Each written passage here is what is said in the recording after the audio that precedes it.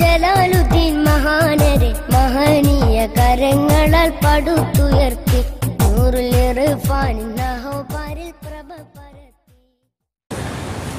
അസ്സാം വലൈക്കും വറഹമത്തല്ലാഹി വാബറകാതുഹു. ഏറ്റവും ആദരണീയരായ സഹോദരികളെ പണ്ഡിത മഹത്തുക്കളെ എന്റെ മുമ്പിലിരിക്കുന്ന മുസ്ലിം ഉടപ്പുറപ്പുകളെ സഹോദരിമാരെ.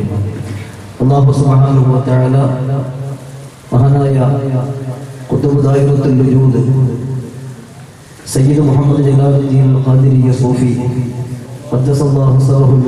മഹാനുഭാവന്റെയും അവിടുത്തെ മക്കളുടെയും അതുപോലെ മറ്റുള്ള നമ്മുടെ സദാത്യങ്ങളുടെയും തങ്ങൾ ദുന്യാവിലും ആഹ്ലത്തിലും നമുക്ക് നൽകുമാറാവട്ടെ. കൂടുതൽ പ്രസംഗിക്കാനോ മുഖദ്ദിമ പറഞ്ഞു നിർത്താനോ സമയമില്ല. അതിനുള്ള സാഹചര്യവും ഇപ്പോഴില്ല. ബദർ ബദരീയത്തുൽ മങ്കൂസിയ പല പേരിലും പലയിടങ്ങളിലും ഇന്ന് പ്രചരിച്ചു കൊണ്ടിരിക്കുന്നുണ്ട് ബദരീയത്തുൽ ഒരു ഭാഗത്ത് മഹദറത്തുൽ ബദരിയ എന്നും മറ്റൊരു ഭാഗത്ത് എന്നും അങ്ങനെ പല പേരിലും ബദരീയത്തുൽ മങ്കൂസി ബദരീയത്ത് തന്നെയാണ് നടന്നുകൊണ്ടിരിക്കുന്നത്. ബദരീയത്ത് ബൈത്ത് ബദരീയത്തുൽ മങ്കൂസിയ എല്ലാം ഒന്ന് തന്നെ.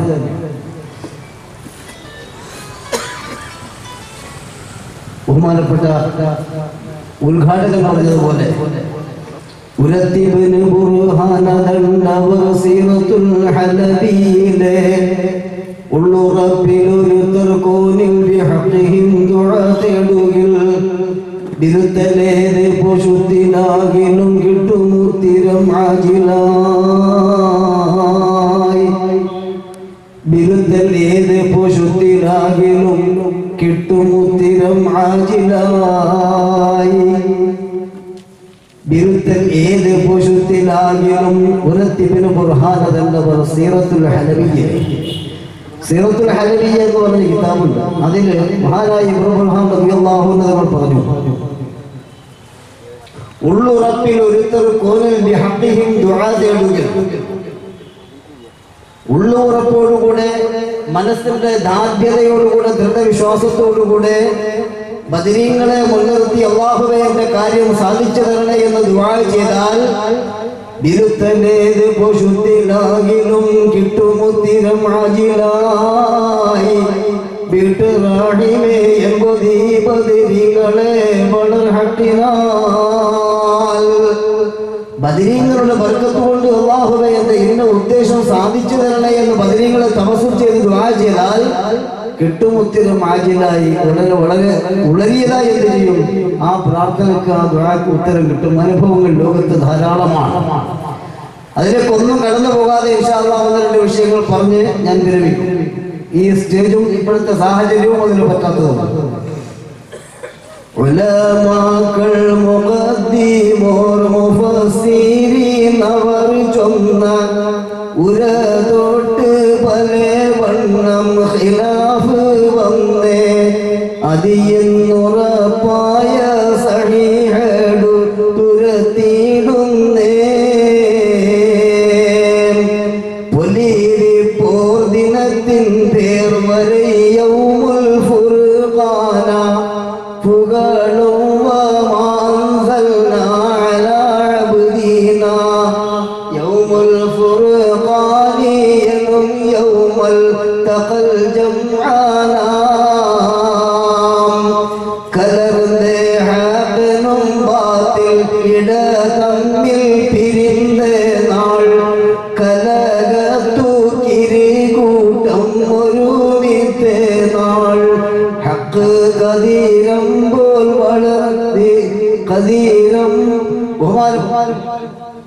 നീ വളർന്നുള്ള നാൾ നല്ലവർ കന്നിറക്കിയ ബകയാവുണ്ടലത്തൂമേ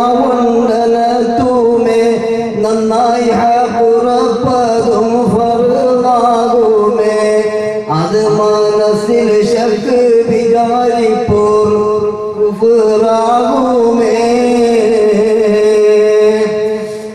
ബദറിന്റെ ചരിത്രം പറയുന്നിടത്ത് ഞാനിപ്പോ ചരിത്രം പറയാൻ നിൽക്കുന്നതല്ല. ബദറിന്റെ ആ നിഷ്ഠുരമായ ചരിത്രം പറയുന്നിടത്ത് ഉലമാക്കൾ പല രൂപത്തിലുള്ള അഭിപ്രായങ്ങളും റിപ്പോർട്ടുകളും ഉണ്ടെങ്കിലും ഏറ്റവും ഉറപ്പും പ്രബലവുമായ കാര്യങ്ങൾ മാത്രമാണ് ബദർ കുസപ്പാട്ടിൽ മഹാനായ മൊയ്കുട്ടി വൈദ്യർ. തങ്ങൾ കൊണ്ടുവന്നത് കൊടുത്തിട്ടുള്ളത്. വലിയപ്പോൾ ദിനത്തിന് പേർ വരെ യൗമുൽ ഫുർഖാന. ഈ ദിവസത്തിന് പോർ ദിനത്തിന് ഈ യുദ്ധത്തിന്റെ ദിവസത്തിന് പേര് വെക്കപ്പെട്ടിരിക്കുന്നത് യോമുൽ ഫുർഖാൻ എന്ന് യോമുൽ മുഖജംഖാൻ എന്ന്. യൗമുൽ ഫുർഖാൻ. സത്യാസത്യങ്ങൾക്കിടയിൽ വിവേചനമുണ്ടാക്കുന്ന ദിവസം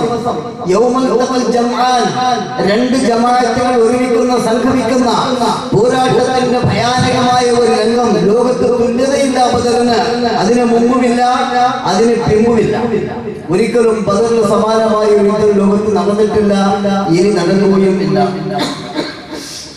കാരണം പരിശുദ്ധമായ ദീനുൽ ഇസ്ലാം ആദരവായ നബി മുഹമ്മദ് മുസ്തഫ. ഹാലായ അഷ്റഫ് കായിനാത്ത് മുഹമ്മദ് മുസ്തഫ. പരിശുദ്ധമായ അള്ളാഹുവിന്റെ കനിമത്ത് തൗഹീദാകുന്ന ലാ ഇലാഹ ഇല്ലല്ലാഹ് മഹാനായ പുത്രൻ ദുരൂദി എന്നതിനു വേണ്ടി നിലകൊണ്ടോ? ബഹുമാനപ്പെട്ട ആയിരത്തിൽ വജൂദ് വേണ്ടി നിലകൊണ്ടോ? മഹാനായ മുഹമ്മദ് കമാലുദ്ദീൻ എമ്മുത്തുപോയ തങ്ങൾ എന്തിനു വേണ്ടി നിലകൊണ്ടോ? ഇപ്പൊ കഴിഞ്ഞവർ എന്തിനു വേണ്ടി നിലകൊണ്ടോ? അൽപേരി കഴിഞ്ഞവരാകട്ടെ കവരത്തികൾ മറപ്പെട്ട് കിടക്കുന്ന മുഹമ്മദ് ഖാസിം തങ്ങളാകട്ടെ അനന്തമായ ശൃംഖലയിൽ കാണപ്പെടുന്ന മഹത്തുക്കളായ ഔലിയാക്കൾ എന്തിനു വേണ്ടിയാണോ നിലകൊണ്ടത്? ലിതകൂന കലിമത്തുല്ലാഹി ഹിയൽ ഉൽയാ.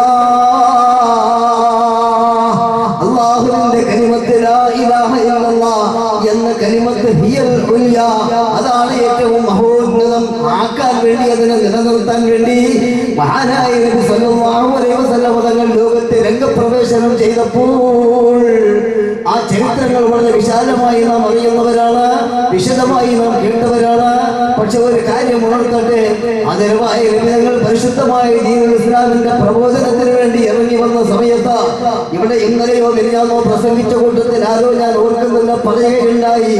അത് റസൂൽ സല്ലല്ലാഹു അലൈഹി വസല്ലം തങ്ങൾ മതത്തിലേക്ക് ഇസ്ലാമിലേക്ക് ഏകദൈവ വിശ്വാസത്തിലേക്ക് ലാ ഇലാഹ എന്ന കലിമത്തുൽ ജനങ്ങളെ ക്ഷണിക്കാൻ വേണ്ടി തുടങ്ങുന്ന സമയത്ത് ഇസ്ലാം ഗരീബ വസയഊദു കമാ بدا وطوبى للغرباء ആരും സഹായിക്കാനില്ലാത്തവരുടെ സാഹചര്യത്തിലാണ് അള്ളാഹുവിന്റെ റസൂൽ സല്ലല്ലാഹു അലൈഹി വസല്ലം തങ്ങൾ പ്രബോധനത്തിന് തുടക്കം കുറിക്കുന്നത്. ഈ സമയത്ത് അള്ളാഹുവിന്റെ റസൂൽ സല്ലല്ലാഹു അലൈഹി വസല്ലം തങ്ങൾ സഹായിക്കാൻ അള്ളാഹിന്റെ ദീനിന് വേണ്ടി എന്ത് ആവശ്യത്തിന് എന്ത് സഹായം വേണം അത് ചെയ്തു കൊടുക്കാൻ ഒരാളും മക്കയിലില്ലാത്ത സാഹചര്യത്തിന് അവിടുത്തെ പ്രിയപ്പെട്ട സഹധർമ്മിണിയായ ബീവി ഖദീജ മക്കയിലെ ഏറ്റവും വലിയ പ്രമാണിയായിരുന്ന ബഹുമാനപ്പെട്ട ഹുബൈലിന്റെ മകളാണ് ഖദീജ റളിയല്ലാഹു അൻഹ. വലിയ വ്യാപാരിയായിരുന്ന അദ്ദേഹത്തിന്റെ മകൾ ധനികയായിരുന്ന മകൾ സൽസ്വഭാവിയായിരുന്ന മകൾ ലോകത്ത് തുല്യതയില്ലാത്ത സൗന്ദര്യത്തിന്റെ ഉടമയായ ബീവി ഖദീജ റളിയല്ലാഹു തആല അൻഹ. അല്ലാഹുവിന്റെ റസൂലിനോട് ഒരു സമയത്ത് പറയുകയാണ് ഹൽ അന മമാനി ഇല്ലാ ലക യാ റസൂലല്ലാഹ്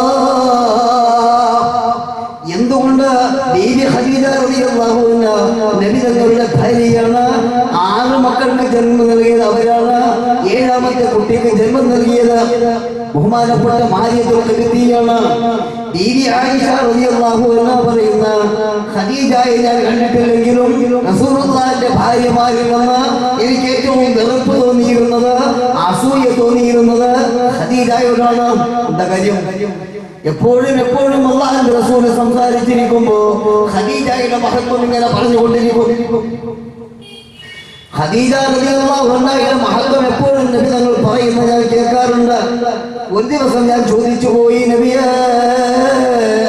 ഞങ്ങൾക്കില്ലാത്ത ഒരു പ്രത്യേകതയും ഖദീജക്കുണ്ടായിരുന്നോ അവിടെ നിന്ന് പറഞ്ഞു ആയിഷ ما غرت على أحد من أزواج رسول الله صلى الله عليه وسلم ما غرت على خديجة ഖദീജയോട് എനിക്ക് ദേഷ്യമുണ്ടായതുപോലെ വെറുപ്പുണ്ടായതുപോലെ നബിതങ്ങളുടെ ഭാര്യമാരിൽ നിന്ന് ഒരാളോടും വെറുപ്പുണ്ടാകാതിരിക്കാനുള്ള കാരണം എപ്പോഴും നബിതങ്ങൾ വരെ പറ്റി പറയും അവരുടെ വഫാത്തിന്റെ ദിവസം എത്തുമ്പോ നബിതങ്ങൾ ആടിനെ അറുത്ത് ഖദീജ ബിബിയുടെ ചങ്ങാതികളായ സ്ത്രീ വീട്ടുകൾക്ക് കൊടുത്തേക്കുമായിരുന്നു അപ്പൊ ഞാൻ ഒരിക്കൽ ചോദിച്ചു പോയി നബിയെ ഞങ്ങൾക്കില്ലാത്ത വല്ല പ്രത്യേകതയും അവിടുന്ന് പറഞ്ഞു. ആരും ആരും എന്നെ സഹായിക്കാൻ അള്ളാഹുവിന്റെ ദീനിന്റെ കാര്യത്തിന് വേണ്ടി എന്നെ സഹായിക്കാൻ എല്ലാവരും അവരുടെ മുതൽ പിടിച്ചു വെച്ചപ്പോൾ തടഞ്ഞു വെച്ചപ്പോൾ എല്ലാവരും ഒളിഞ്ഞും മാറിയും പോയപ്പോൾ അവരുടെ പണമിരിക്കുന്ന അലമാര തുറന്നു വെച്ചുകൊണ്ട് പെട്ടി തുറന്നു വെച്ചുകൊണ്ട് എന്നോട് പറഞ്ഞു അള്ളാഹുവിന്റെ റസൂലെ എന്റെ സമ്പാദ്യവും ഞാനും മൊത്തം അങ്ങേക്കല്ലാതെ തന്നെ ആർക്ക് കൊടുക്കാനാ? അതുകൊണ്ടാണ് ഖദീജ റളിയല്ലാഹു അൻഹ ആദരവായ നബി എപ്പോഴും അവരെ സ്മരിക്കാറുള്ളത്. ഞാൻ പറഞ്ഞു വന്നത് അള്ളാഹുവിന്റെ റസൂൽ ഏകനായി ദീനിലേക്ക് പ്രബോധനത്തിന് വേണ്ടി ജനങ്ങളെ ക്ഷണിച്ചു കൊണ്ടിരിക്കുമ്പോൾ ആദ്യമായി ദീനിലേക്ക് കടന്നു വന്നത് അവലുമൻ ആമനബി അബൂബക്കർ. മഹാനായ അബൂബക്കർ സിദ്ദീഖ് റളിയല്ലാഹു അവിടെ നിന്നാണ് ദീനിലേക്ക് ആദ്യമായി കടന്നു വന്നത് അവലുമൻ ആമനബി അബൂബക്കർ അവലവൻ സദ്ദഖനി അബൂബക്കർ അവലുമൻ സഫജനി അബൂബക്കർ അവലുമൻ യുഹ്ശറ മഇ യൗമൽ ഖിയാമത്തി അബൂബക്കർ. ബദരിങ്ങളുടെ പേര് പറയുമ്പോ ബദരിയത്ത് പറയുമ്പോ ബദരിയത്ത് ബൈത്ത് ചൊല്ലുമ്പോ അതിന്റെ ആദ്യത്തെ നമ്പർ അഷ്റഫുൽ ഖൽഖ് മുഹമ്മദ് റസൂലുള്ളാഹി. അതിനോട് നിന്ന് തുടക്കത്തിൽ കാണാം. إن كثيرا من الأولياء لم تحصل لهم الولاية إلا بقراءة أسمائهم والتوسل بهم فنسأل الله سبحانه وتعالى بنبينا وحبيبنا محمد مصطفى وأبي بكر وعمر وعثمان وعلي ഉണ്ട് എല്ലാവരും ആദരവായ നബി സല്ലല്ലാഹു അലൈഹി വസല്ലം തങ്ങൾ ആയിരുന്നു ബദർ യുദ്ധത്തിന്റെ ഏറ്റവും ആദ്യത്തിലുള്ള മെമ്പർ അവിടുന്ന് അള്ളാന്റെ റസൂലിനെ കൊണ്ട് ആത്മമായി വിശ്വസിക്കുകയും ഈ പറഞ്ഞതുപോലെയുള്ള സഹായം അള്ളാന്റെ ദീനിന് വേണ്ടി ചെയ്യുകയും ചെയ്ത മഹാനായ അൻഹു അടക്കമുള്ള ചുരുക്കം ചില ആളുകൾ ദീനിന് ഇങ്ങനെ മെമ്പർമാർ കൂടി കൂടി കൂടി വരുമ്പോ മക്കയിലെ ആളുകൾക്ക് ഇസ്ലാമിനോടും അള്ളാഹിന്റെ റസൂലിനോടും ശത്രുത വർദ്ധിച്ചു വർദ്ധിച്ചു വർദ്ധിച്ചു വന്നിട്ട് ഇതൊരു പുതിയ പ്രസ്ഥാനം ഇവിടെ കൊണ്ടുവന്നിരുന്നു. വല്ലാത്ത വളർച്ചയാണല്ലോ. നൂറുൽ ഇർഫാൻ വളർന്നതുപോലെ നൂറുൽ ഇർഫാൻ വളർന്നതുപോലെ ഈ മദീനത്തിൽ മങ്കൂഫിയ വളർന്നതുപോലെ കുത്തുബുൽ നിരൂദ് വളർന്നതുപോലെ കുത്തുബുൽ നിരൂദിന്റെ പാരമ്പര്യം വളരുന്നത് പോലെ വല്ലാത്ത ഒരു അസൂയ അസജ്ഞമായപ്പോൾ ബഹുമാനപ്പെട്ട അഷ്റഫുൽ ഖൽഖ് സല്ലല്ലാഹു അലൈഹി വസല്ലം തങ്ങളുടെ കൂടെ ഉണ്ടായിരുന്ന പലരും മക്കയിൽ നിന്ന് പല രാജ്യങ്ങളിലേക്കും നാടുവിട്ടു ജീവിക്കാൻ സ്വൈര ജീവിതമില്ല. അങ്ങനെ അവർ നാടോട്ട് പോയി. അവസാനം വസല്ലം തങ്ങൾ കാത്തിരിക്കുന്ന. അള്ളാഹുവിൽ നിന്നുള്ള ഓർഡർ ആജ്ഞ എനിക്ക് കിട്ടുന്നത് മദീനായിലേക്ക് പോകാൻ. മദീനയിൽ ചെന്നുകൊണ്ട് ഹിജറയായിക്കൊണ്ട് മദീനയിലേക്ക് പോകാനുള്ള ആ കൽപ്പന അള്ളാഹുവിൽ നിന്ന് കിട്ടുന്നത് കാത്തുകൊണ്ട് ഇരിക്കുകയാണ്. ഈ സാഹചര്യത്തിലാണ് മഹാനായ തങ്ങളെ ഏതെങ്കിലും രൂപത്തിൽ നാടുകടത്തി കളയാൻ തീരുമാനിച്ച് നടന്നില്ല. ഏതെങ്കിലും രൂപത്തിൽ കൊന്നു കളയാൻ വേണ്ടി ആക്രമിക്കാൻ വേണ്ടി പലപ്പോഴും അവർ സംഘടിച്ചു നോക്കി നടന്നില്ല. ഇതൊക്കെ നമ്മുടെ അനുഭവങ്ങളാണ്. പല രൂപത്തിലും ഉപദ്രവിക്കാനും ആക്രമിക്കാനും നോക്കി പല രൂപത്തിലുള്ള ആക്രമണങ്ങൾ അഴിച്ചുവിട്ട് പക്ഷേ നടന്നില്ല. അവസാനമതാ വസല്ലം തങ്ങൾ അള്ളാഹുവിന്റെ ആജ്ഞ അനുസരിച്ച് മക്കയിൽ നിന്ന് മദീനയിലേക്ക് പലായനം ചെയ്യുകയാണ്. കൂടെ ഉണ്ടായിരുന്ന അവലുമൻ നാമ നബി അബൂബക്കർ. കൂടെ ഉണ്ടായിരുന്നവർ മദീനയിലേക്ക് പോകുന്ന വഴിയിലുള്ള ചരിത്രങ്ങളൊക്കെ നമുക്കറിയാം. ഈ സുദീർഘതയുള്ള അടങ്ങുന്ന ആളുകൾ മദീനയിൽ ചെന്ന് താമസിച്ചപ്പോ മക്കാരും വീണ്ടും ഉപദ്രവിക്കാൻ തുടങ്ങി. മക്കായിലുള്ള മുസ്ലിമുകൾ മദീനയിലുള്ള യഹൂദികളെ കൂട്ടുപിടിച്ച് അവർ തമ്മിൽ ഐക്യമായി റസൂലുള്ളാഹിനെ അവിടെ നിന്ന് തിരുത്താൻ വേണ്ടി മുസ്ലിമീങ്ങളെ അവിടെ നിന്ന് ഇല്ലായ്മ ചെയ്യാൻ വേണ്ടി കഠിനമായ പ്രയത്നം നടത്തിക്കൊണ്ടിരിക്കുന്ന സാഹചര്യത്തിലാണ് ഒരിക്കൽ ബദർ യുദ്ധത്തിന്റെ സാഹചര്യം ഇസ്ലാമിന്റെ മക്കളെ മനസ്സിലാക്കണം. നമുക്കറിയാം ഒരുപാട് ചരിത്രം നമ്മൾ കേട്ടതാണ്. മഹാനായ അഷ്റഫുൽ തങ്ങൾ യുദ്ധത്തിന് വേണ്ടി പോയതെന്തായെന്ന് നമുക്കറിയാം യുദ്ധത്തിന് വേണ്ടി ഉദ്ദേശിച്ചുകൊണ്ടല്ല മക്കയിൽ നിന്ന് പുറത്താക്കപ്പെട്ട അല്ലെങ്കിൽ ഒളിച്ചോടിപ്പോയ സത്യവിശ്വാസികൾ അവിടെ വിട്ടേച്ചു പോയ അവരുടെ ഭവനങ്ങൾ ആ ഭവനങ്ങളിലുള്ള സാധനങ്ങൾ മുതലുകൾ കൊള്ളയടിച്ചുകൊണ്ട് നശിപ്പിച്ചുകൊണ്ട് അവർക്ക് ശേഖരിക്കാനുള്ളത് ശേഖരിച്ചുകൊണ്ട് അവർ ശാന്തി കച്ചവടത്തിന് വേണ്ടി പോയി.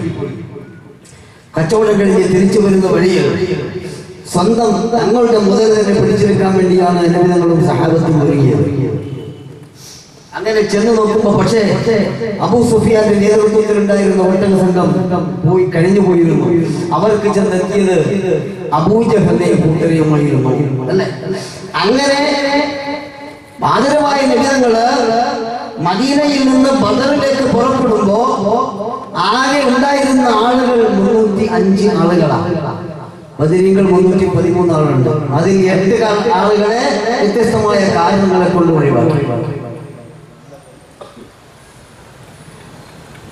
അരശരാദിയൻ സൂദർ മദനിൽ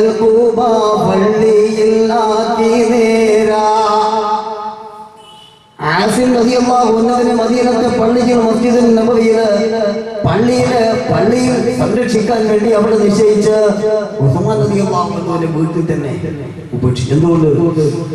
ബഹുമാനപ്പെട്ട അവരുടെ ഭാര്യ റസൂലുള്ളാഹിന്റെ മകൾ റുഖിയ ബീവിക്ക് രോഗമായതുകൊണ്ട് ശുശ്രൂഷിക്കാൻ ചുരുക്കത്തിൽ എട്ട് ആളുകളെ മാറ്റി നിർത്തി മുന്നൂറ്റി അഞ്ച് ആളുകളാണ് ബദറിലേക്ക് കയ്യിൽ ആയുധങ്ങളില്ല.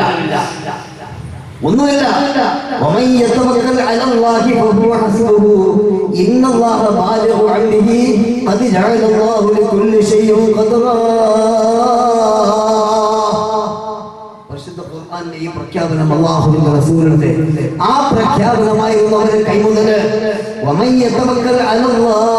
അല്ലാഹുവിന്റെ മേൽ ആരെങ്കിലും ഭാരമേൽപ്പിച്ചാൽ ഏതൊരു കാര്യമാകട്ടെ പ്രതിസന്ധി ഘട്ടമാകട്ടെ അല്ലാഹുവിന്റെ മേൽ ഭാരമേൽപ്പിച്ചാൽ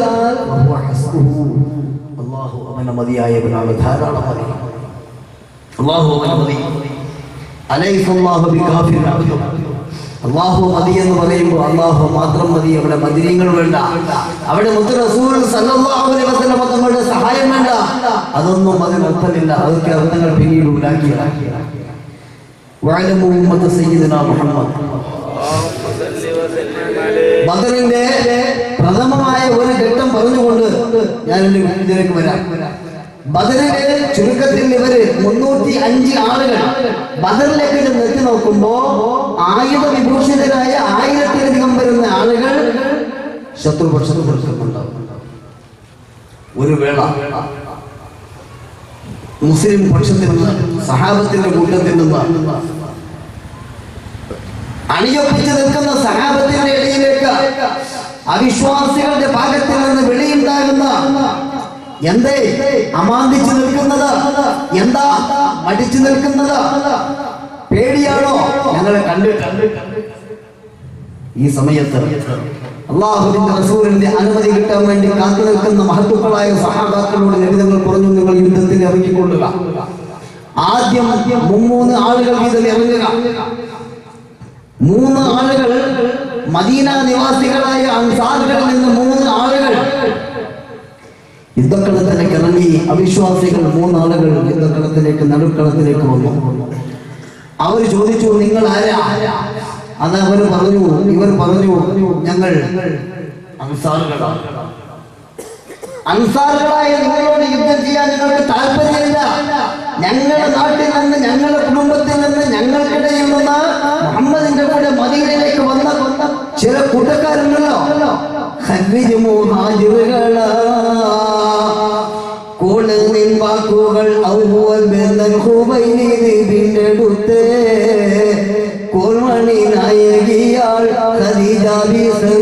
സമ്മതിത്ത് ആളവൾക്കുള്ള കൂട കൊടുത്തും മകൾ പെടുത്തേ. ആടും പശക്കം എന്താണ് തന്നിൽ ആടിപ്പരക്കയുട്ടേ ഖദീജാന്റെ സ്വത്തും സമ്പാദ്യവും കൊടുത്തുകൊണ്ട് ജനങ്ങളെ വശീകരിച്ചിട്ട് കുറെ ആളുകൾ ആ പണത്തിന്റെ പിന്നാലെ മദീനയിലേക്ക് വന്നല്ലോ അവരിങ്ങോട്ട് ഇറങ്ങി വരട്ടെ. ഇത് പറഞ്ഞപ്പോ ഇവർ മൂന്നാളും തിരിച്ച് സത്തിലേക്ക് വന്നു. പിന്നെ മൂന്നാളുകൾ വീണ്ടും ഇറങ്ങി. മുഹാജിറുകളായി വന്ന ആളുകളാകട്ടെ ഞങ്ങളിലേക്ക് വരുന്നത് യുദ്ധം ചെയ്യാൻ. മുഹാജിറുകൾ വരട്ടെ എന്ന് പറഞ്ഞപ്പോൾ മുഹാജിറന്റെ വാക്ക് കേട്ട് മുന്തി മൂണ്ട് സിംഹര മുന്നിലെ ഉബൈദത്തുമ്പിൻ ഹംസയും വഹൈദറ. മഹാദിനത്തെ മുത്തെ അബത്താലിങ്ങളെ മതനടുത്തെ ഉങ്ങളാരതൊക്കെ മൈ മുഹാജിറ. കാട്ടിലെ വനത്തിലെ സിംഹങ്ങളെ പോലെ കടുവകളെ പോലെ ദയയെന്തെന്നറിയാത്ത അത്തരം ജീവികളെ പോലെ മൂന്നെണ്ണം ഇറങ്ങി വന്നിരിക്കുന്നു നിങ്ങൾ ആരാ അവർ പറഞ്ഞു ഞങ്ങൾ മുഹാജിറുകളാണ്. നിങ്ങൾക്ക് മുഹാജിറുകളെയല്ലേ ആവശ്യം. അതിൽ ഒന്നാമതായി മഹാനായ അഹമ്മദുൽ രണ്ടാമതായി മഹാനായ മൂന്നാമതായി ബഹുമാനപ്പെട്ട മൂന്നാളും യുദ്ധക്കളത്തിന്റെ കിറങ്ങി വന്നപ്പോ മറ്റു മൂന്നാളുകൾ അപ്പുറത്ത് അതാരാ? ഒന്ന് ഷെയ്ബ ഒന്ന് ഒത്തുബത്ത് ഒന്ന് വലിയ ഈ മൂന്ന് ആളുകളോട് ഇവർ അവരുടെ കുടുംബക്കാരാണ് നാട്ടുകാരാണ് അറിവുള്ളവരാണ് പരിചയമുള്ളവരാണ്. അങ്ങനെ അവർ മൂന്ന് മൂന്ന് ആറ് പേര് ആദ്യം യുദ്ധത്തിന് തുടക്കം കുറിക്കുക. മുമ്പ് ഒരുപാട് സംഭവങ്ങളുണ്ട്. യുദ്ധത്തിന് തുടക്കം കുറിക്കുകയാണ്.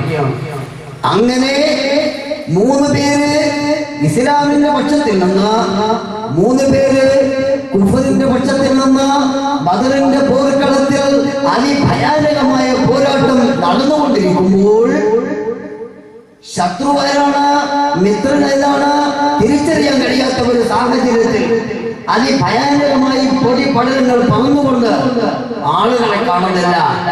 പെട്ടെന്ന് അക്ബർ എന്ന ഒരു ശബ്ദം കേട്ടു. അത് അപ്പുറത്ത് നിന്ന് വീണ്ടും അക്ബർ രണ്ടാമതൊരു ശബ്ദം കൂടി കേട്ടു. കുറച്ചു കഴിഞ്ഞപ്പോ അന്തരീക്ഷം നല്ല ശുദ്ധമാകാൻ പൊടിപടലങ്ങൾ അടങ്ങാൻ നോക്കുമ്പോൾ മഹാനായ തന്റെ ശത്രുവായിരുന്ന ശൈബത്തിനെ മുറിച്ചുകൊണ്ടിരിക്കുന്നു മഹാനായ അലി അൻഹു തന്റെ ശത്രുവിനെ വധിച്ചു ഇട്ടിരിക്കുന്നു. മൂന്നാമതായി നോക്കുമ്പോൾ ബഹുമാനപ്പെട്ട നിങ്ങൾ അവിടെ തന്റെ കാൽ കാലിന്റെ തൊടഭാഗം വെട്ടേറ്റ് മുറിഞ്ഞ് നിലം പതിച്ചു കിടക്കുന്നു. തന്റെ ശത്രു തന്റെ പ്രതിയോഗി അരികിൽ വാഴ പിടിച്ചുകൊണ്ട് നിൽക്കുന്നു. കലകലകലം വൈകത്തും കടുകവേ വെടുത്തണവിണ്ട് ഉത്തുപത്തും മലഫലം കൊല്ലിടുത്തായമേകുത്തും മഹചുമടടി കുതിരകളും ചുറ്റും കാറമുറ്റി തോന്നുത്തും പ്രത്യേകപ്പെട്ട് കാൽ തുടക്കൈ ഊരതറ്റ ഭൂതലത്തിൽ വീണു വൈദ്യ തോർ കിടക്കൈ കിടയിലെ അരിയും കടുഹങ്ക പുലിയും കിറന്തടുത്തുത്ത് പറ്റ കുലത്തുടൻ വൈദത്തെ കിടപ്പിന്നങ്ങടി വായി കൊണ്ടടു കൊണ്ടടു തടി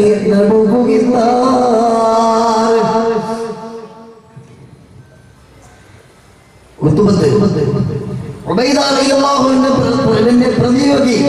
ഉത്തുബത്ത് തന്റെ കയ്യിലുണ്ടായിരുന്ന വാളുകൊണ്ട് ഏറ്റി അതി ഭയാനകമായ ആ വെട്ട് കാലിന്റെ തുടക്ക് ബാധിക്കുകയും കാലിന്റെ തുട മുറിഞ്ഞ് അദ്ദേഹം അവിടെ വീണ് കിടന്ന് രക്തം ഒഴുകി ഒഴുകിക്കുകയും ഇതാണ് കണ്ടത് ആരാ കണ്ടത്? അലിയും ഹംസയും അൻഹുമ. അവരിപ്പോ ഫ്രീയാ. രണ്ടുപേരും ഓടി വന്ന് കുലത്തുടൻ അബൈദത്തെ. എടുത്തുടൻ ഒത്തുമത്തെ. എടുത്തുടൻ അബൈദത്തെ കുലത്തുടൻ ഒത്തുമത്തെ. മഹാനായ ഈ ശരീരം കൊണ്ട്? തളർന്നു കിടക്കുന്ന ശരീരം കൊണ്ട്? ബഹുമാനപ്പെട്ട അലി അൻഹുവും മഹാനായ അൻഹുവും അതിനെ താങ്ങി പിടിച്ചുകൊണ്ട് ഇസ്ലാമിന്റെ അണികളിലേക്ക് പോകുമ്പോ അതിന്റെ തൊട്ടുപുറത്ത് നിന്ന് വരെ ഹൈമ ഉണ്ടായിരുന്ന റസൂലുള്ളാഹിക്ക് വേണ്ടി ഒരുക്കിയ അതിലേക്ക് പോകുമ്പോ പുകിന്താറിലും മരീഷണത്തിൽ പുകളും ഹബീബുള്ള തിരുമുമ്പെത്തി ചുഗന്ധേ ഉപൈതത്തെ എടുത്തത് അമ്മ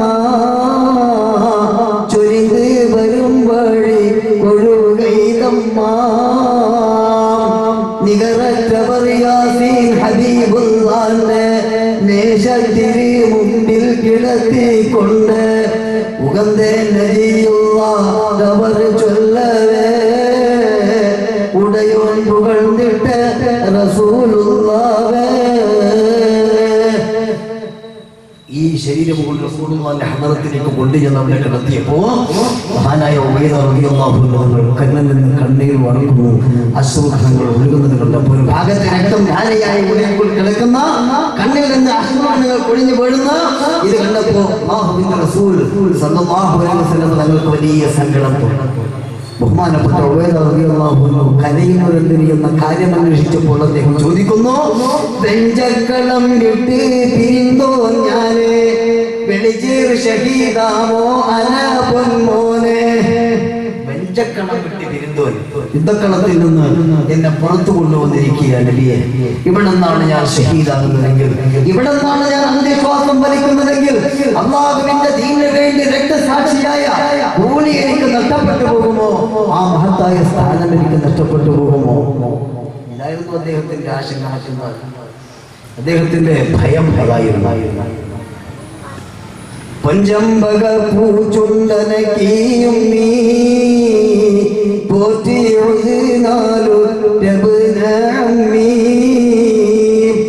ചഞ്ചൽ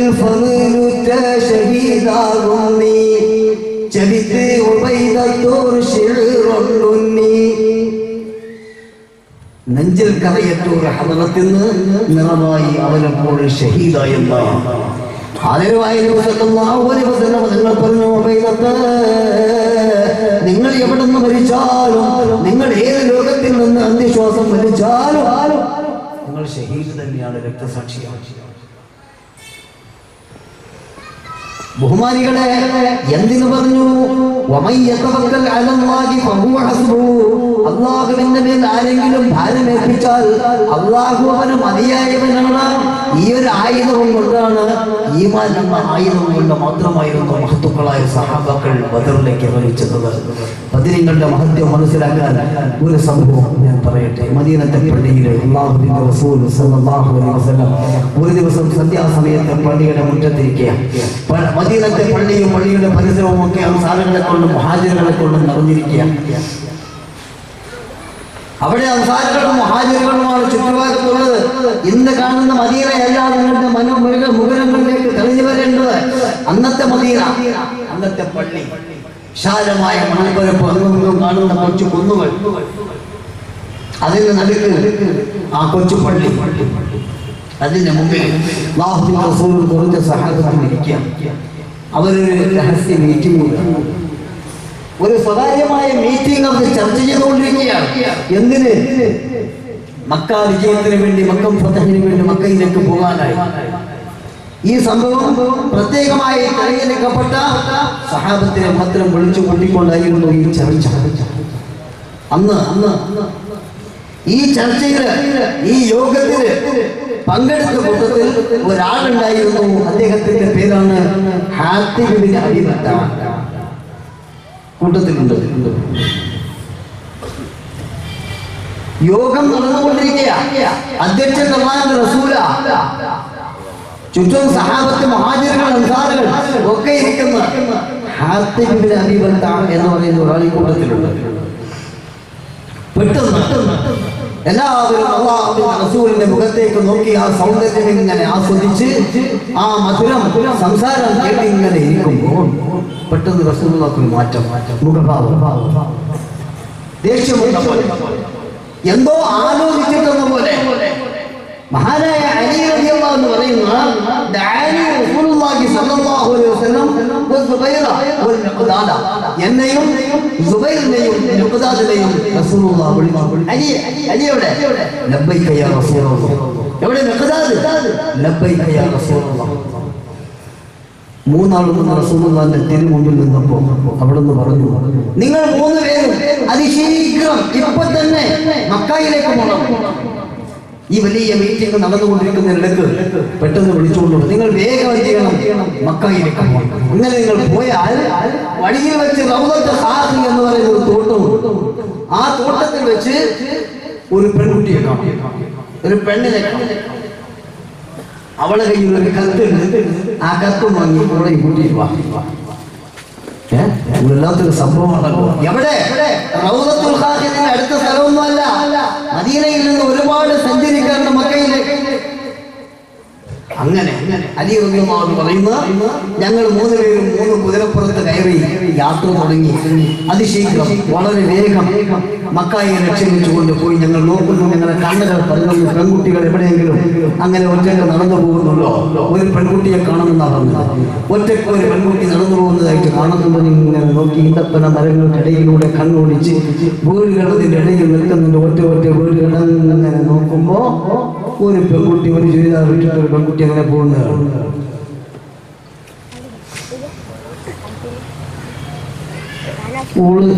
പോകുന്നത് അലി ഇവരോട് പറഞ്ഞു ഒരു കാര്യം ചെയ്യും.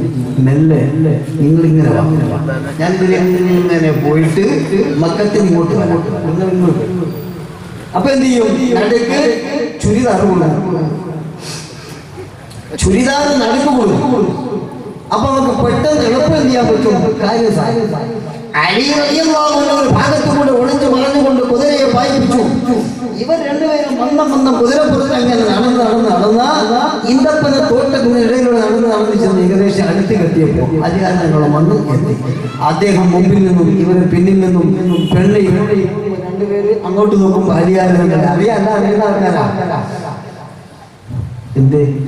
ആ കത്ത് കട്ടുമുള്ള കത്ത ആ എന്ത് കത്ത് നീ ആ കത്തി അങ്ങനെയാണല്ലോ അതിന്റെ സ്വഭാവം അങ്ങനെയാണ് കത്തോ? നിങ്ങൾ കത്താ പറയുന്നത്? എന്റെ അടുത്ത് കത്തൊന്നുമില്ല. നിങ്ങളുടെ കത്തില്ലേ? ഇല്ല അള്ളാഹുവിന്റെ മദീനത്തെ പള്ളിയുടെ മുറ്റത്ത് യോഗം കൂടിക്കൊണ്ടിരിക്കുന്ന യോഗത്തിനിടയിൽ വെച്ച് ഞങ്ങളോട് പറഞ്ഞതാ നിന്റെ കയ്യിൽ കത്തുണ്ടെന്ന് നിന്നെയും കത്തിനെയും കൂടി കൊണ്ടുചെല്ലാൻ വന്നവരാ ഞങ്ങൾ കത്തെടുക്കുന്നു കത്തില്ല കത്തില്ല കത്തില്ല കത്തില്ല കത്തില്ല കത്തില്ല അലിയാറുകളോട് പിന്നെ നിന്നെ ചുരിദാറിൽ പോകുന്ന. നിന്നെ ചുരിദാറെ. നിന്നെ ഞാൻ നഗ്നയാക്കും. നീ എന്താ മനസ്സിലാക്കുന്ന ആരുടെ കത്തില്ല എന്ന് പറയുന്നത്? ഇത് പറഞ്ഞപ്പോ അവർ എന്നെ അവിടെ നിന്ന് മാറി. പെണ്ണ് മാറി ഒരു മരത്തിന്റെ മറവിലേക്ക് വന്ന് എന്റെ മുടിക്കെട്ടഴിച്ച് അതിന്റെ ഉള്ളിൽ നിന്ന് കള്ള സ്ഥലം കല്യാണം പറയുന്നു. ഇപ്പൊ എവിടെ നിന്ന് കത്തുണ്ടായി കേറ്, കേറ്, നടക്ക്, നടക്ക്, നടക്ക്. ആ പെണ്ണിനെയും കൂട്ടി മൂന്ന് പേര് മദീനായിലേക്ക് തിരിച്ചു. അങ്ങനെ ചെന്ന് ചെന്ന് ചെന്ന് ചെന്ന് ഇത് സംഭവമാണല്ലോ. ഇതിനെന്തോ സീക്രട്ട് ഉണ്ടല്ലോ എന്നെല്ലാം മനസ്സിലാക്കി സഹാബത്ത് അറിയാൻ ആകാംക്ഷയോടെ കാത്തിരിക്കുമ്പോഴാണ് അധികാരികളും മഹാനായ അങ്ങോട്ട് എത്തുന്നത്. നോക്കുമ്പോൾ ഒരു പെണ്ണോട് വന്ന് വന്ന് വന്ന് വന്ന് അടുത്തേക്ക് എത്തിയപ്പോ മുമ്പിലേക്ക് എത്തിയപ്പോ ഈ സഹാബികൾ ഇങ്ങനെ ഇരിക്കുന്ന നടുക്കും ഇരിക്കുന്നുണ്ടല്ലോ ഈ പെണ്ണെ കണ്ടപ്പോ ഇതിന്റെ ഇടയിൽ ഒരാൾ ഇങ്ങനെ വിറക്കുന്നു കരിയിലെ വിറക്കുന്ന പോലെ ഒരാൾ വിറക്കുന്നു. നബി തങ്ങൾ അദ്ദേഹത്തെ നോക്കിയപ്പോ എല്ലാ കണ്ണും അങ്ങോട്ട് തിരിഞ്ഞു. ഇയാൾ വിറക്കാൻ തുടങ്ങി. ഇയാൾ ഭയപ്പെട്ടു. ഇയാൾ വിഷമിച്ചു. ഇയാൾ അക്ഷരം സംസാരിക്കാൻ കഴിയാത്തവനായി വളരെ അവശനായിരിക്കുമ്പോ അലിയാരികൾ കൊണ്ടുവന്ന് ഇക്കത്ത് റസൂൽ കരീം സല്ലല്ലാഹു അലൈഹി വസല്ലം തങ്ങളുടെ തിരു കനങ്ങളിലേക്ക് ഏൽപ്പിച്ചു പെണ്ണിനെ കൊണ്ട് മുമ്പിൽ നിർത്തി. നബി തങ്ങൾ ഹാത്തിബിനെ നോക്കിയിട്ട് ചോദിച്ചു ഹാത്തിബ് ഞാൻ നേരത്തെ പറഞ്ഞ ഹാത്തിബ് നബി ഈ കത്ത് നീ അറിയോ എന്ന് ചോദിച്ചു. വേറെ ഒന്നും ഈ കത്ത് നീ അറിയോ അറിയാൻ അറിയാൻ ഈ പെണ്ണിനെ അറിയോ? അറിയാം നബിയെ. കാരുണ്യത്തിന്റെ കടനായ നബി മുഹമ്മദ് മുസ്തഫ. ഇസ്ലാമിന്റെ വളർച്ചയ്ക്ക് വേണ്ടി തന്നെ അങ്കുലി പരിമിതമായ സഹാബത്തിനെ അണിനിരത്തിക്കൊണ്ടവരുമായി മക്കാ വിജയത്തിന് പോകാൻ വേണ്ടി സ്വകാര്യമായി മീറ്റിംഗ് കൂടിക്കൊണ്ടിരിക്കുമ്പോ ഈ വിഷയം ലോകത്താരും അറിയുന്നത് ഇവിടെ മുനാഫികളുണ്ട് കപട വിശ്വാസികളുണ്ട് യഹൂദികളുണ്ട് നസാറാക്കളുണ്ട് ഇസ്ലാമിന്റെ ശത്രുക്കളുണ്ട്. മക്കാര് കാത്തിരിക്കുക അവിടെ നിന്ന് കുറെ മുമ്പിൽ ക്യാമ്പ് ചെയ്യുന്നുണ്ട് ഇതിനിടയിൽ ഈ വിഷയം ഒരു മനുഷ്യനും അറിയാത്ത രൂപത്തിൽ ചർച്ച ചെയ്തുകൊണ്ടിരിക്കുമ്പോൾ ഈ കത്ത് എഴുതുന്നതാരാ? പറഞ്ഞു മോനെ ഇതൊന്ന് വായിക്കൂ. അലിയാർ കത്ത് വായിക്കാൻ തുടങ്ങി.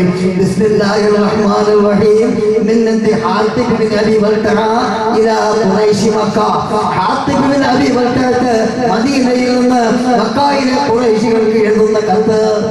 എന്ന് പറഞ്ഞുകൊണ്ട് കത്തിങ്ങനെ വായിച്ചു തുടങ്ങിയപ്പോ സഹാബത്ത് മുഴുവനും രുഷാകുലരായി അവർ ദേഷ്യം കൊണ്ട് നിറച്ചു അവർ അടങ്ങാത്ത അരിശം അവരുടെ ഉള്ളിൽ ഊത്ത് ഊത്ത് വരികയാണ്. കത്തി ഇങ്ങനെ വായിച്ചു പറയുന്നു കത്തിൽ പറയുന്നു അനുയായികളും മക്കായിലേക്ക് വരാൻ വേണ്ടി ഇവിടെ പദ്ധതി പ്ലാൻ ചെയ്തുകൊണ്ടിരിക്കുക അതുകൊണ്ട് ജാഗ്രത പാലിക്കുക. ഇതാണ് കത്തി ആരായി ചെയ്യുന്നത്? ഈ കൂട്ടത്തിലുള്ള ആളുകളാണ്. മഹാനായ നിങ്ങൾ ആദ്യമേ വിളിച്ചു ആദ്യമേ അദ്ദേഹം വന്ന് റസൂലുള്ളാഹിന്റെ മുമ്പിൽ നിന്നപ്പോ അവിടെ നിന്ന് ചോദിച്ചു ഹാത്തിബേ കത്ത് നീ എഴുതിയതാണോ? അതേ റസൂലേ. കത്ത് ഞാൻ എഴുതിയതാ. ഈ പെണ്ണിനെ നീ അറിയുമോ? എനിക്കറിയാൻ നബിയെ. ഞാൻ അവളെ കയ്യിൽ കൊടുത്തു വിട്ടതാ മക്കയിലേക്ക്. എന്താണ് ഇതിന്റെ സിറ് എന്താണ് ഇതിന്റെ സീക്രട്ട് എന്തുകൊണ്ട് ഇത്രയും കൃത്യമായി നമ്മൾ ചെയ്യുന്ന ഈ തീരുമാനം നീ ഇങ്ങനെ എഴുതി കൊടുത്തേക്കാൻ കാരണം എന്താ? ഹാത്തി പ്രതിയുള്ള നബി എന്റെ പേരിൽ നടപടി എടുക്കരുത്. ഞാനൊന്ന് പറഞ്ഞോട്ടെ. അദ്ദേഹം പറഞ്ഞു നബിയെ ഒന്നും പറയാൻ സമ്മതിക്കണ്ട മുനാഫിഖ ഒരു തങ്ങളൊന്ന് സമ്മതിച്ച് ഞാൻ അവനെ വെട്ടിയേക്കാം ഒരു പലതും പറഞ്ഞു നിങ്ങൾ രക്ഷപ്പെടാൻ നോക്കും. അതുകൊണ്ട് അലനൊന്നും സമയം കൊടുക്കാതെ ഈ മുനാഫിക്കിനെ ഞാൻ കഥ കഴിച്ചേക്കാം. ഇവിടെയാണ് ഞാൻ ഉദ്ദേശിച്ച വിഷയം. മഹാ- മഹാത്മാക്കളായ ബദരീങ്ങളെ സംബന്ധിച്ച് പറയുമ്പോ അള്ളാഹുവിന്റെ ദീനിന് വേണ്ടിയും അള്ളാഹുവിന്റെ റസൂലിനും അള്ളാഹുവിനും വേണ്ടിയും മാത്രം ജീവിച്ച ബഹുമാനപ്പെട്ട ഹാത്തി പറഞ്ഞു ഈ വിഷയം പറഞ്ഞപ്പോ ഖത്താബിനോട് ദേഷ്യപ്പെട്ടു. റളിയല്ലാഹു അൻഹു. ഉമർ മാ തഖൂലു മാ തഖൂലു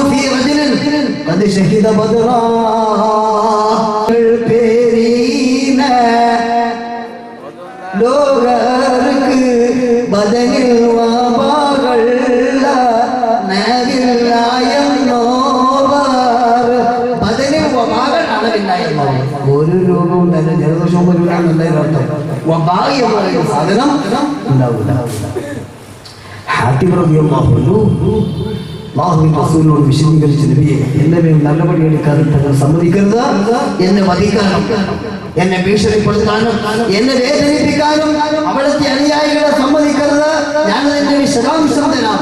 പറയുമോനെ റളിയല്ലാഹു അൻഹു പറഞ്ഞു മക്കയിൽ എന്റെ ഭാര്യയെ മക്കളെ എന്റെ തോട്ടത്തെ എന്റെ മുതലുകളെ എന്റെ സമ്പാദ്യത്തെ മുഴുവനും അവിടെ ഇട്ടേച്ച് മുസ്ലിമായി ജീവിക്കാൻ വേണ്ടി മാത്രമാണ് ഞാൻ ഇങ്ങോട്ട് വന്നത്. പലരും വന്ന കൂട്ടത്തിൽ. പക്ഷേ ആ പലർക്കും അവിടെ കുടുംബങ്ങളുണ്ട് അവരെ മുതൽ നോക്കാൻ ആളുണ്ട് മക്കളെ നോക്കാൻ ആളുണ്ട് അവരെ സഹായിക്കാൻ ആളുണ്ട്. എനിക്ക് എന്റെ കുടുംബത്തെ നോക്കാൻ ആരുമില്ല. അതുകൊണ്ട് ഞാൻ ഇങ്ങനെ ഒരു വിവരം എഴുതി കൊടുത്തു വിട്ടാൽ അവർ ഞാൻ അവരെ പോലെ ഉണ്ട് എന്ന് കരുതി എന്റെ സ്വത്തിനും സമ്പാദ്യത്തിനും മക്കൾക്കും സംരക്ഷണം നൽകുന്നു ആക്രമിക്കൂല ബുദ്ധിമുട്ടാക്കൂല.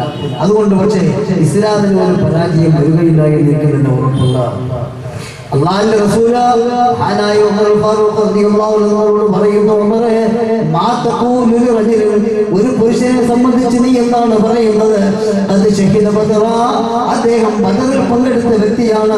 ബദർ യുദ്ധത്തിൽ പങ്കെടുത്ത ഒരു ബദരീകളിൽപ്പെട്ടയാളാണ്. ലഅല്ലല്ലാഹ ഇത്തല അലാ അഹ്ലി ബദറിൻ ഫഖാല യഅമലൂ മാ ശിഅ്തും ബദരീങ്ങളെ അള്ളാഹു വെളിപ്പെട്ടുകൊണ്ട് പ്രത്യക്ഷപ്പെട്ടുകൊണ്ട് യഅമലൂ നിങ്ങൾ ഇനി എന്ത് ചെയ്താലും കുറ്റമില്ല എന്ന് അള്ളാഹു പറഞ്ഞിട്ടുണ്ട് ബദരീങ്ങൾ റളിയല്ലാഹു അൻഹു وجاهدوا بأموال وباعوا نفوسهم لدين الهدى في كل موطن غزوة صلاة وتسليم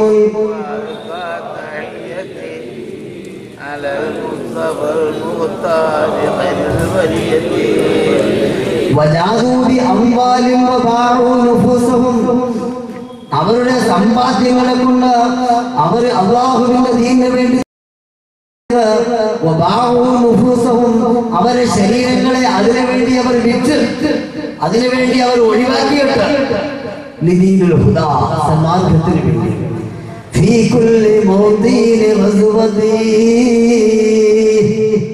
ബദരിയത്ത്. ബദരീങ്ങളുടെ നാമം അത് പറയുക. അത് പറയുന്ന മജ്ലിസ് അലങ്കരിക്കുക. സുഗന്ധങ്ങളെ കൊണ്ട്. നല്ല വസ്ത്രം വൃത്തിയുള്ള വസ്ത്രം ധരിച്ചുകൊണ്ട് സുഗന്ധങ്ങൾ ഉപയോഗിച്ചുകൊണ്ട് മാന്യമായ രൂപത്തിൽ വളരെ അന്തസ്സോടുകൂടെ ബദരീകളുടെ പേര് പറയുക വിശ്വാസം ഹൃദയത്തിന്റെ ഉള്ളിലുള്ള ഉറച്ച വിശ്വാസത്തോടുകൂടെ.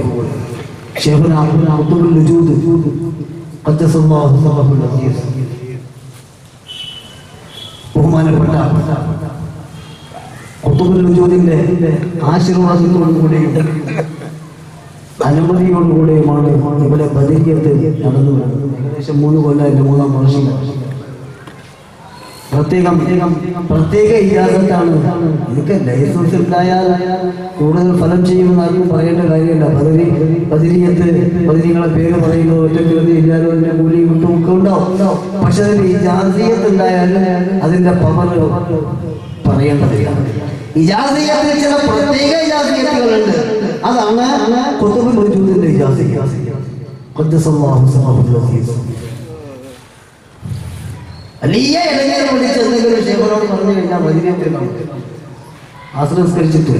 മതിരേറ്റ്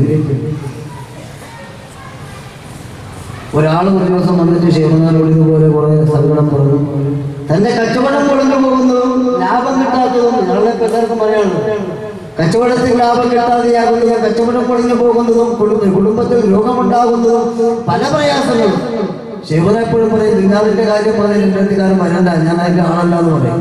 ഏതായാലും വരുന്നവർക്ക് എന്തെങ്കിലുമൊക്കെ കൊടുക്കുകയും ചെയ്യും. അങ്ങനെ ഈ ആൾ വന്നിട്ട് ശിവനോട് പറഞ്ഞ് ഞങ്ങളെ ഞാൻ കച്ചവടം ചെയ്യുന്ന ആളാണ്. എന്റെ കച്ചവടം ഉണ്ട് സംഗതി പക്ഷെ വർഗത്തില്ലാത്ത പോലെ ഒരു ക്ഷയിച്ചു പോകുന്ന പോലെയൊക്കെയുള്ള തോന്നലാണ്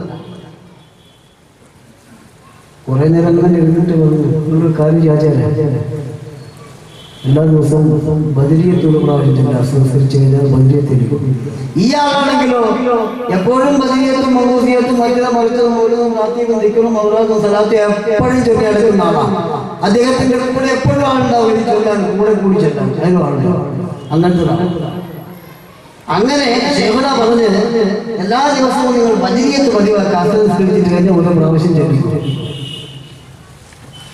ആന്ന് പറഞ്ഞ് ഏറ്റ അദ്ദേഹം ഒഴിഞ്ഞു അദ്ദേഹം അവിടെ നിന്ന് പോയി. സാധാരണ തന്റെ പതിവ് പോലെ വേറെ ഒരു ആലിമിന്റെ എടുത്തിരുന്നു. അവിടെയും പറഞ്ഞു. എന്റെ കച്ചവടം നല്ലത്? ഇത് മതിയായിരുന്നു. വേറെ ഒന്നും വേണ്ടായിരുന്നു. കുത്തുബിന്റെ ജൂതിന്റെ നാമം ആ ഒരു വാക്ക് പറഞ്ഞപ്പോൾ മാത്രം അദ്ദേഹത്തിന് മതിയായിരുന്നു മരണം വരെ.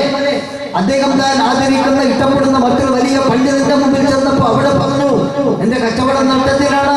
എന്റെ കുടുംബ പുരോഗത്തിലാണ് മാനസികമായി പ്രയാസത്തിലാണ്. കടത്തിലാണ് എന്നൊക്കെ പറഞ്ഞപ്പോൾ പറഞ്ഞു ഒരു കാര്യം ചെയ്യാം. ഈ മൗലവിത്താവില്ല ബദിരിയത്തിനും മൂസിയത്തിന്റെ ഒരു ദിവസം അസംസ്കരിച്ച മൂന്ന് വട്ടം ജനിക്കുന്നു.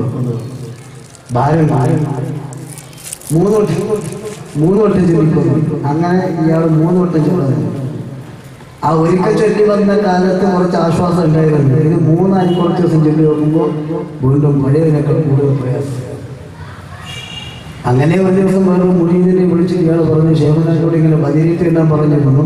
ഞാൻ ഇങ്ങനെ ചെല്ലുന്നുണ്ട് കുറേ കാലമായി തുടങ്ങിയിട്ട്. പക്ഷെ എന്റെ ദാരിദ്ര്യം തീർന്നിട്ടില്ല. അപ്പൊ എന്താ സംഭവം എന്ന് ചോദിച്ചു നോക്കും അപ്പോഴാണ് ഇയാൾ എന്റെ ഉസ്താദ് എന്ത് ചെയ്ത്? മൂന്ന് ചെല്ലാൻ പറഞ്ഞു. കുത്തുബിന്റെ ജൂത് ഒരു വാക്ക് പറഞ്ഞിട്ടുണ്ടെങ്കിൽ ഇസ്ലാമിന്റെ സഹോദരങ്ങളെ എന്റെ ശബ്ദം ശ്രമിക്കുന്ന ഇസ്ലാമിന്റെ ഉടപ്പിറപ്പുകളെ ഞാൻ പറയട്ടെ? കുത്തുബിന്റെ ജൂത്. മഹാനായ ശൈഖുന അസയ്യിദ് ശിഹാബുദ്ദീൻ അൽ ജീലി ഖദ്ദസല്ലാഹു സിറഹുൽ അസീസ്. അവിടെ ഒരു വാക്ക് പറഞ്ഞിട്ടുണ്ടെങ്കിൽ അത് മെല്ലയാ പറയാ ആരും കേൾക്കൂല. പറയാ. ആ പറഞ്ഞ വാക്ക് അതിനെ മറികടക്കുന്ന ഒരു വാക്ക് രൂപത്തിൽ പറയാനുണ്ട് അസ്സാം അലൈക്കും.